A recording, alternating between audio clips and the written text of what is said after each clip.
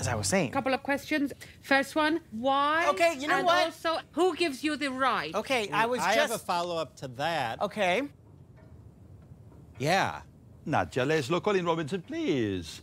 I would like to hear what Guillermo has to say. A lot has changed since you last saw me. I'm in a really good place. And it is all thanks to an ancient book of wisdom I discovered that laid buried in Laszlo's library of precious volumes for years and years. This book has taught me to focus on what is really important, like who is okay and who is not okay. Thank you for sharing, Guillermo. You are okay. I didn't say anything yet. Then that is okay.